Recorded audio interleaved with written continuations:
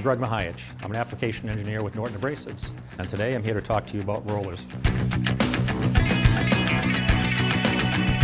Rollers are used to apply both water-based and solvent-based finishes. Rollers are ideal for working with pattern floors and parquet floors. The action of the roller deposits the finish in an up and down motion. Because of this, you can work cross-grain without leaving any streak marks or stop marks. Our roller cage is free spinning to leave a smooth finish. It's also designed to make putting on and taking off the roller cover easy. We offer three different roller covers.